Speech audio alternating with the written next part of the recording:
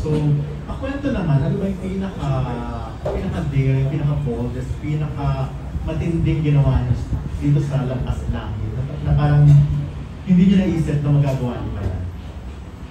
Bigyan niyo kami ng konting pasilip sa mga eksena. Si Chloe muna. Although sa trailer medyo nakita na namin. So, ikaw kasi, yung personal experience mo. Dalawang scenes po yung hindi ko akalain gagawin ko agad sa first movie ko. Pero ang unang-una po, syempre, yung scene ko with Christine, kasi first time ko pong gawin yung eksena, at hindi, hindi ko akalain na magagawa ko pala. Kasi kung tatanungin niyo po, parang, parang hindi ko kaya, pero nung nasa set, wala, nangyari na lang talaga siya. Yun yung ano. Yes po.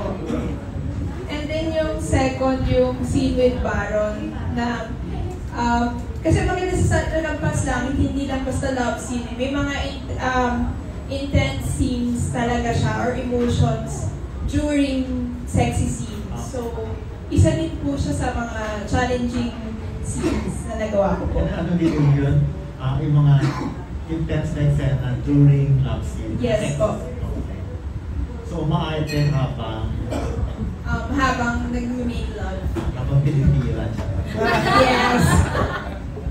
Ayun, si, si Milana Ikimoto. Hello. Gusto kong malaman kung gaano ka kakalaban kasi eh, parang sa trailer. Tsaka parang in person kasi mukha kang fighter eh.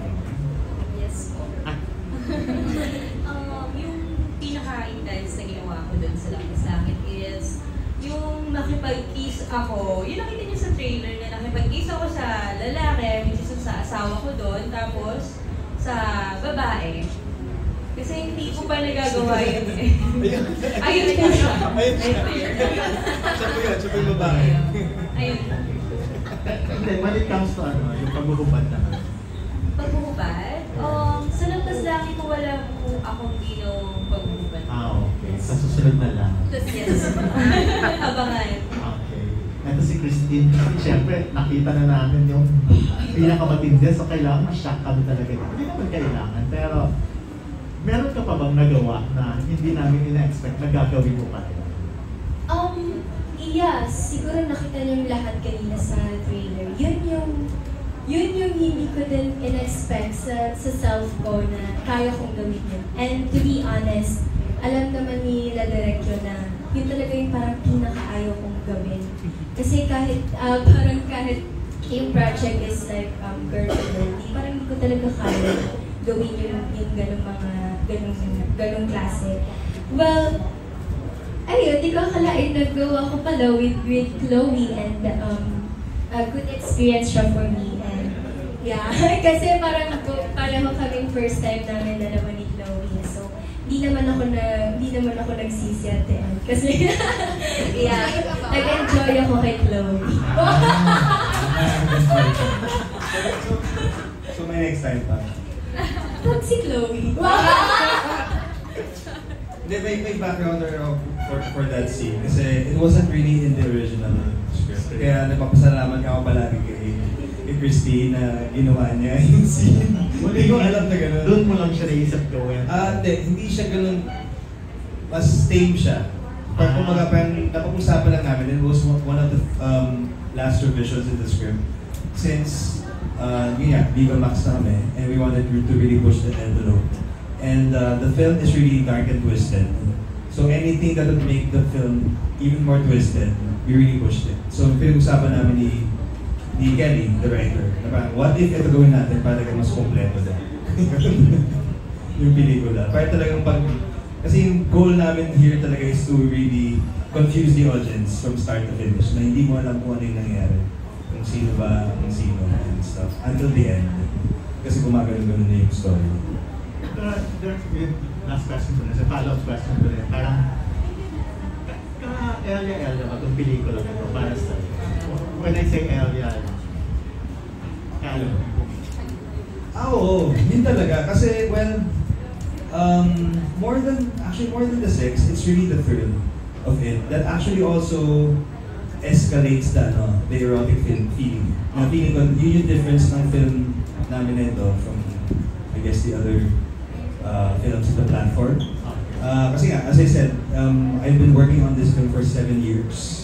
Since 2015. Nilalako na namin itong film na to since 2015. Tapos finally, after seven years, nagawa na siya. So maraming salamat sa Viva you so much. nagawa na din siya. Yeah, alam nila, alam nila to. Alam nila how important this film is to me. And uh, yun nga, it's really, ano talaga siya, thriller talaga siya. And then sex is used as, yun nga, a weapon. Yun yung sinasabi. Mas mahirap bang ka-eksena yung girl sa sexy scene kaysa sa guys? Um, I would say yes.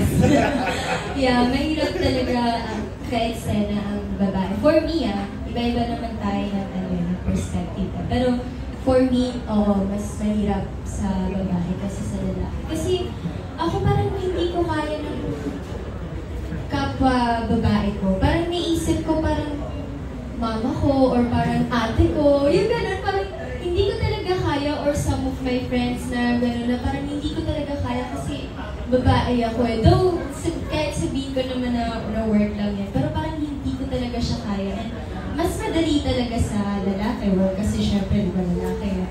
Mas, mas parang, mas parang ano, kasi parang mas malakas ang loob ko pag ganyan. Pero pag babae talaga parang hindi ko talaga kaya. pero nagawa ko naman. Yeah. question ko for ano, for Chloe, saka kay, ano, kay Christine Bermas. Kasi sabi niyo nga, this is your first time to do yung scene niyo together, na girl to girl. Ah, kasi parang natanong ka na nilipat yung, yung, yung preparation yung with with direct, di ba? Yung, yung emotional. Pero gusto ko lang rin malaman, how do you prepare physically dito? May pinag-usapan ba kayo ng limitation or all out din? Or nag-toothbrush ba? Or nag- mga gano'n, di ba? Mga gano'n preparation yung, yung gusto niyong gawin. Nag-usap ba kayo? Ano yung mga syempre hygiene. Kailangan fresh, lalo na kung girl to girl, di ba? Parang mas nakakahiya na magiging mabaho sa eksena ko. Pero seriously, I tried my best to internalize and substitution method. Sabi ko kay, sabi ko kay Christine, iisipin ko na nga ikaw yung crush ko. Kasi pag nakita kita talaga sa ano yun, hindi ko magagawa yung eksena. Well, nagawa ko naman. Kinilig ako actually kasi nga. Inisip ko na talaga yung crush ko. limitation? Ka sa mga limitation na bawal ganito, bawal ganyan. Ako wala naman. no? Wala naman po akong ganyan. Si Christine naman. Mas matindi ba preparation mo dito? Kaysa sa parang mas lalaki? dito sobrang pressure ako. First, syempre hygiene din. Kailangan talaga yun. Ilan kapag girl ang collab scene. I mean, uh, I mean kapag uh, before ka gagawa ng mga scenes, kailangan talaga ng hygiene. And, yeah, ako naman, kasi parang, since, to be honest talaga, hindi ko talaga kaya sa pinahirapan talaga ako. Though, hindi ko kaya ipasok talaga na ikikiss ko si Chloe. Tapos mag-make, mag, mag-make love kami ni, ni Chloe. Nung una pa nga, tinatawag ko siyang ate. So parang sabi niya sa akin, wag wag ko daw siyang i-ate. Pero di ba sa chat, nag-chat kami kasi gusto ko maging comfortable with her. And tinry ko and um, yan, sinubukan ko na lang din tingnan that time na sige, gawin gawin ko na lang to para matapos na. Uh, inisip ko na lang na another experience to for me. Parang uh, another challenge to for me. So parang kailangan natin i-overcome and kailangan natin i-try lahat ng, ng new things, di ba? Para for us din na ma-realize natin or ma-experience natin na, oh, kaya rin pala talaga natin gawin. So, yeah, you know, Kung ano, may, hindi, follow up lang. May question ako. Hindi, kasi, um, as I remember, um, I remember, eh, this, yung scene ng dalawa is one of the scenes that was really, um, describing in the, in the, in the script. Na kung paano yung gagawin, as in, kung saan siya halik and all. So, parang, ano kayo, nag- pinag-usapan niyo ba kung anong gagawin niyo? Kasi, na, at pagdating doon, di ko na kailangan sabihin sa kanila anong gagawin niyo. Hindi, pero naging sa script siya. Nasa script. Exacto. Di ba? So parang, nung, nung nabasa niyo ba siya sa script, pinag-usapan niyo na kung anong gagawin niyo beforehand o hindi niyo? Eh, parang doon mo eh. Pag- Ituloy na lang kung anong nangyayari. Parang go with the flow. Parang kung ano nang nangyayari kung halimbawa parang nag-start kami na, nag-close kami. Uh, kasi, kasi ito dun sa script, nakalagay parang kung saan ka halik, saan mo lalagay yung kamay mo, and stuff. Nasa script siya eh. Oo. Hindi namin po siya talaga napag-usapan. Hindi siya Ah, talaga. Alaanan lang. Pero alam niyo po, may ginawa si Christine na talagang natakot ako. As makikita, makikita niyo yung reaction ko sa movie. Kaya grabe, kahit wala na po ako sa set, takot na takot ako. Ayaw ko kasi Christine. Oh my God. So, totoo pala yun. Totoo pala yun. Yun Kasi din ang abangan ayaw ko mangyari sa akin. Kapag may mga love scenes ako outside, ayaw yun ang ayaw ko, pero nagawa ko. Direk ka lang dinagdag na lang mga daspat. Itong eksena. Ay, hindi. Talagang mo na talaga siya. Pero ano siya, last revision. So parang sinend ni Kelly yung mga revisions kasi like a day before.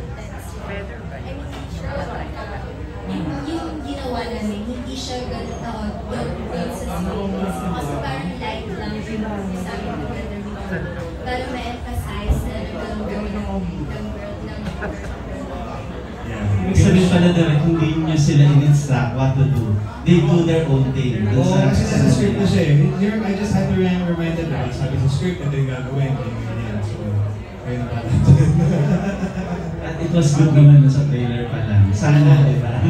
Nabig, nabigyan nyo ng ano, special character ng, dalawa. sa may levels, may levels yung scene nila. Yeah. Matutuwa kayo dun.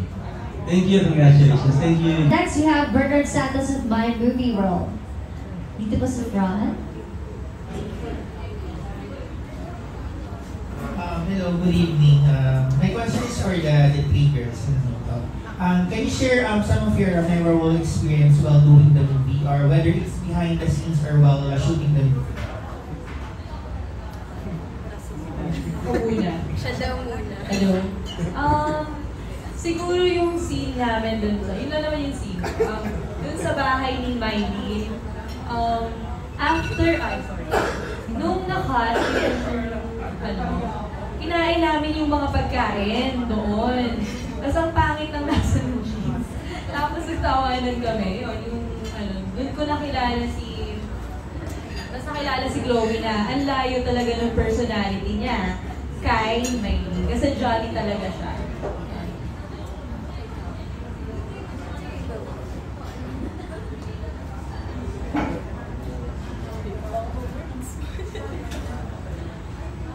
Siguro yung bonding namin, offset. Um, pag nasa tent, ganyan, kasi yung bonding talaga ng prod, hindi lang kaming mga artista eh. Kasama namin talaga, nagbobonding yung sa wardrobe, makeup, Napapagalitan nga kami actually na ng ingay namin na Oo nga. kailangan Tama, kailangan may times. mag-cut ng scene. Oo nga, may times. Kasi, oh, Narinig kayo sa doon. Ingay niya sa mga kwarto. Ayun, eh, hindi nakakamiss sa pag-shoot namin kasi naging pamilya. Yung buong set, yung staff, hanggang utility, as in, may kanya-kanya kami inside jokes, ganyan. Nag-tayo kami nagpa-prank. So, Reveal. Yeah. May brand. Ako once lang ako na-brand.